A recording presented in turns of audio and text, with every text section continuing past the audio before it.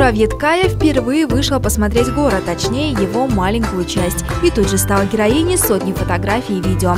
В Калининградский зоопарк подруга лектора приехала из Дании в начале весны, но на свежий воздух попала только сейчас. По словам сотрудников зоосада, сначала животное боялось выходить из закрытого вольера, однако очень быстро освоилось и смело обследовало территорию.